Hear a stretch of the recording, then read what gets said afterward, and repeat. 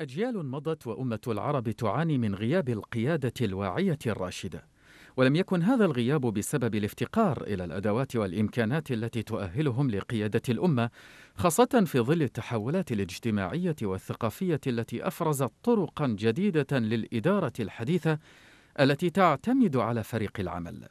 فالشعوب تلتف حول قائدها إذا اقتنعت بتفانيه وإخلاصه من أجل بلده وشعبه. فلطالما حلمت الشعوب العربية بالقائد الذي لا هم له سوى مصالح الجماهير وحين تجده سوف تتبعه طواعية لا بالصوت والعصا والعسف والإرهاب.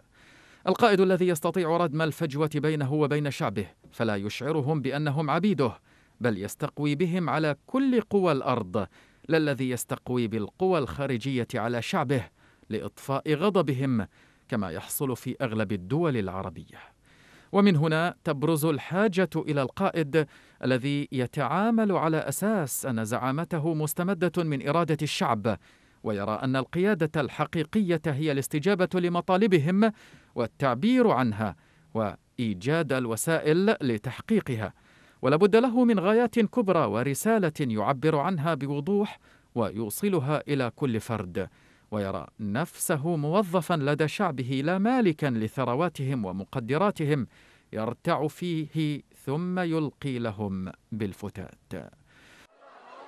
النظام العربي في جله يقوم على مبادئ لم تعد مناسبة للقيادة في هذا العصر.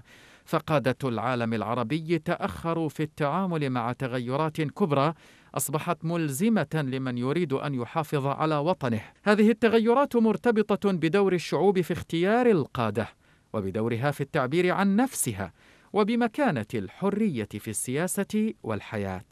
وبالتالي فإن أزمة القيادة ستشكل في المرحلة القادمة أخطر نقطة ضعف في النظام العربي.